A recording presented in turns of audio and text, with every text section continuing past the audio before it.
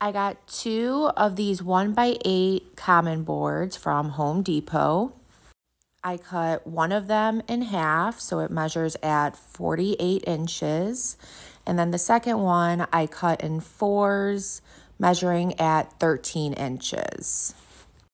So first, I just prepped the wood by sanding it to make sure that there are no rough or jagged edges. And once those are completely sanded down, I got this Varathane wood stain in the color Espresso from Home Depot.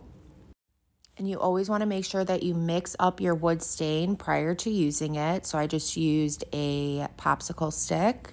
Definitely want to wear gloves when applying any kind of wood stain. And I'm using a foam brush to apply the wood stain on all of the wood.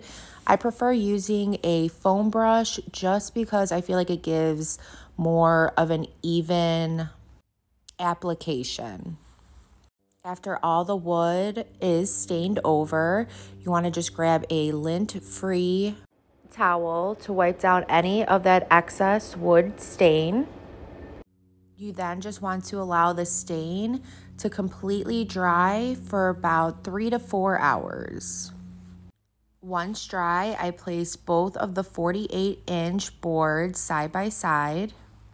Using a ruler as a guide, I place the first 13 inch board down six inches. And then the remaining three, I put them down every 12 inches. And then to begin putting this all together, I first just applied some wood glue that I got from Dollar Tree. And then using one and a quarter inch screws to finish the application. And as you're working downwards, just make sure that you keep using that ruler as a guide so you do not lose where each of the wood planks need to go. Once complete, ta-da, you just built your own easy ladder. I found this gorgeous berry garland from my local thrift store. Starting at the top of the ladder, I'm using some zip ties to hold this garland in place. And as I'm going down the ladder, I'm just giving the garland a nice little curve. So anywhere the garland hits the edge of the ladder is where you want to place that zip tie. And then I got these wooden stars from Dollar Tree. I'm just going to take two of them right off of the burlap holder and then using some white chalk paint by Folk Art, I'm just applying that onto the back side of these stars. And this did require two coats, so you just want to make sure that you dry the first coat before applying the second coat.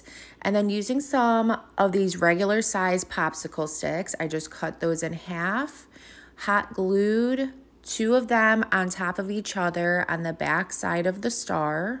And then I just grabbed two black pipe cleaners and I just stapled those right on top of the popsicle sticks. And then I had this gingham style fabric. I believe I got this from my local thrift store, but I believe Hobby Lobby has them. So I just cut them down into strips, created a awareness ribbon out of it, scrunched it up in the middle, and then just tied it off with some jute string, hot glued it into the center of each of the stars. And then just finding a good placement for each of the stars on the ladder. Once I have that, I just flipped the ladder upside down and used that pipe cleaner to twist it onto the back. And this will hold that star in place. Now you could add any kind of accent pieces to this as you would like. I had so much fun creating this. I hope it inspires you to create your own. If it did, please be sure to sprinkle the love. Thank you so, so much, and I hope y'all have a good rest of your day. Thanks. Bye.